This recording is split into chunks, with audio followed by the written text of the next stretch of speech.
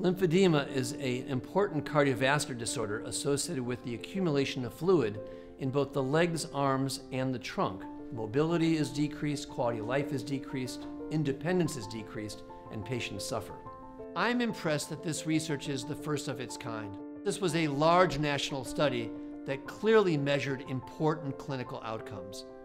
One of the problems in the care of lymphedema is that there have been very few well-conducted and appropriately designed studies. And the net result is that patients who suffer from these problems often face obstacles in terms of reimbursement for care or availability of resources because the payers are unwilling or reluctant to pay for treatments for which there is not a good evidence base. So we felt that this was an important study to do because there is some indication that this kind of treatment would be very effective. Now we have a very solid piece of evidence.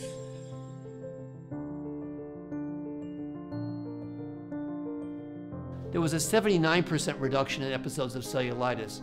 This has never been achieved with any other lymphedema treatment prior to this time. We want to identify effective treatments that are going to improve patients' health and at the same time do that at a lower cost. We used administrative and claims data from a large national insurer and we examined the healthcare cost, healthcare utilization, and clinical outcomes of lymphedema patients who were prescribed the device. And we compared these outcomes in the one year prior to them receiving the device to the one year post receiving the device. And our study sample included 718 patients, and 374 of these patients had cancer.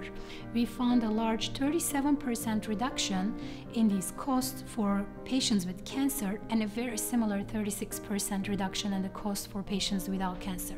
Less encounters with the healthcare system not only lower health costs to the system itself, but also to patients who have many out-of-pocket expenses such as copays, supplies, and medicine. It also gives patients a gift, time.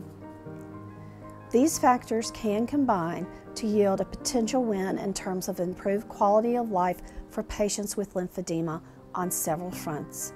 As a physician who treats patients with lymphedema, I always seek to identify studies that are directly relevant to my clinical practice.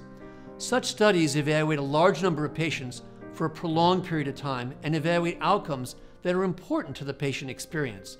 This study satisfies these criteria.